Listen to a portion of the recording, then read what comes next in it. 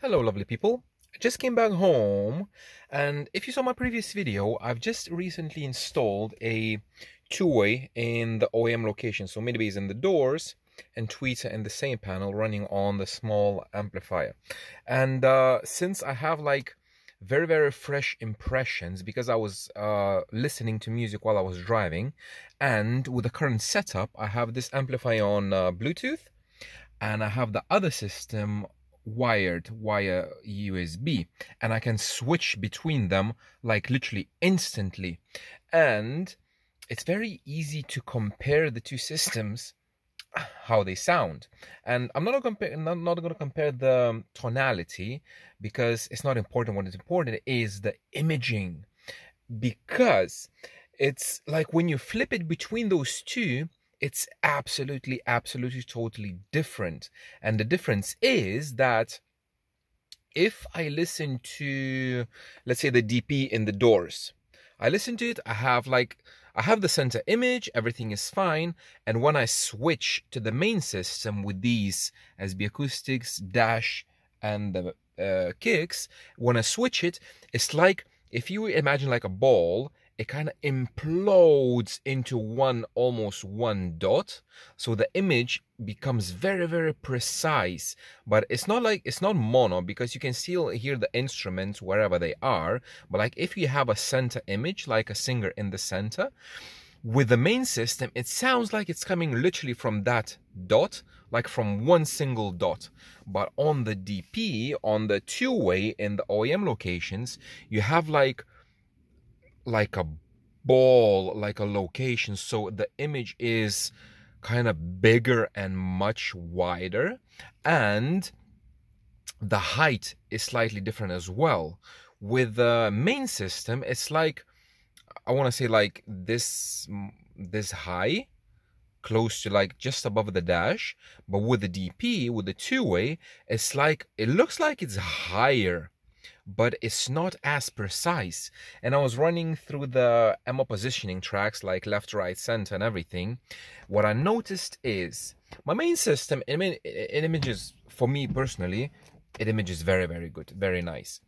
But the two way, you have the center, which is like bigger, then you have the right side, hard right side, the sound is coming, it looks like it's coming from this tweeter but in reality this one is playing but it looks like it's this one. And exactly the same on the hard left. The tweeter is there but it sounds like it's coming from there. And uh, the center is kind of center the left center is there the right center is not there but it's more like here. And since my since this is my like first impressions, I have a theory about why this is. Because the difference is that on my main system, I have mid-range firing. Sorry for the focus because it's start trying to focus to my hand. The main system, uh, the mid mid-range is firing up the glass, and the tweeter is right on axis towards you. So it's kind of point source, whereas this tweeter and this one, it's not aimed towards me. These tweeters are aimed like opposite to each other. I try to aim them slightly towards me, but I guess this one, I guess it's aiming like maybe like here towards the headrest or maybe to the pillar. And that one is aiming probably to this glass or something like that. And my theory is that these tweeters when they're firing, they have reflections coming off the glass. So if you have one source there, you have a reflection from the glass, and when you sum them, it sounds like it's coming from there. And exactly the same with this one. You have the main source sound that's coming towards you. There's a reflection from the glass, and it kind of sums. It looks like it's coming from the middle. And my theory is that when you include those reflections from the main glass, the center becomes bigger, I want to say. The center is there, it's just, it's it's much bigger. It's, it's, it's, it looks like it's, the thing is, it's not as wide like the left and right, since they start there, they should be there, left and right. By sounds there. So the stage is not as wide, but it's much more diffused. I want to use the word. And the height difference as well, because it's it's not diffused like sideways, it's diffused up and down as well. And I think this has to do with the mid bass in the doors, because this mid bass to reach the tweeter, it plays very high, all the way up to like 3K and uh, you have like big massive distance between the mid-range and the tweeter. Whereas in this system the distance is literally they're on the same plane whereas this is very different height. And this i guess gives you the height difference because you have uh, if you play like i would imagine like 3k something tone you have the same tone coming from the mid bass which uh, sums like at this height because you have both of them there. And then you have tweeters at the same frequency, 3K. They sum up there plus all the reflections and everything.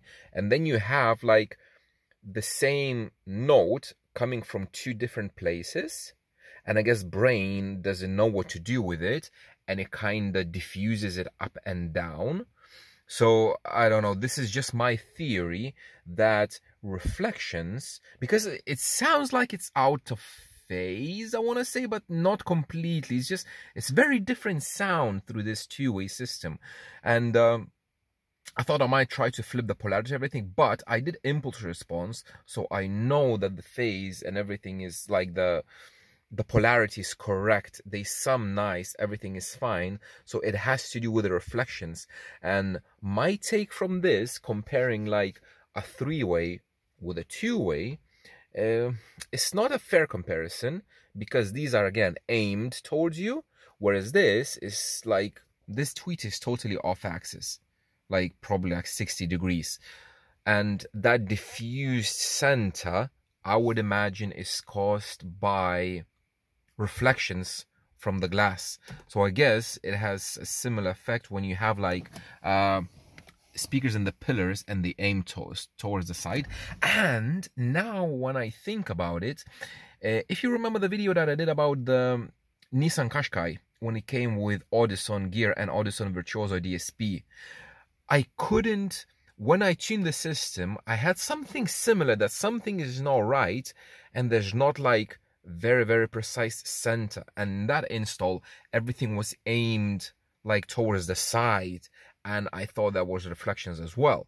So i think it has to do a lot with the reflections. Now what i want to do now is make a comparison between uh, same two-way is just instead of having the tweeter firing that way aim the tweeter literally on axis. So today, tomorrow, I don't have any time. Sunday, Sama, Emma. And the week after, probably Monday or Tuesday, what I'm going to do, I'm going to remove the tweeter from here.